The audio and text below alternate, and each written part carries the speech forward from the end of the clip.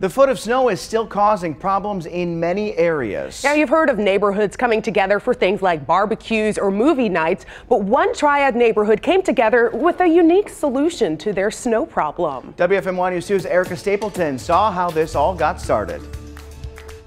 Dunlin Square is looking pretty good. The road is clear, and driveway after driveway after driveway is free of snow. But here's the catch a plow hasn't been down here at all. By the time they get to us, it could be days. About three years ago, Frank Lacena and his neighbors looked into hiring a plow to come and dig them out. But that would have cost hundreds of dollars every time it snowed. So they decided to put their money toward something else. So we all chipped in and we bought a snowblower. Behold, the community snowblower. It stays in Frank's garage until they need to bust it out.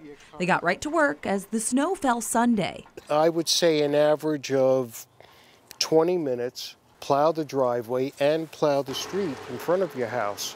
That's their strategy. Do your driveway, do the road in front of your house, and pass it on. Talk about winning a snowstorm. It's a no brainer. The blower cost around $900 up front, split by about 12 neighbors. Both money and time well spent. The proof is right there. Take a look at the street. Frank tells me they actually have money still pooled from when they originally bought the blower and they use that money for the gas. Since they started doing this though, they haven't had any issues with ice or getting to work.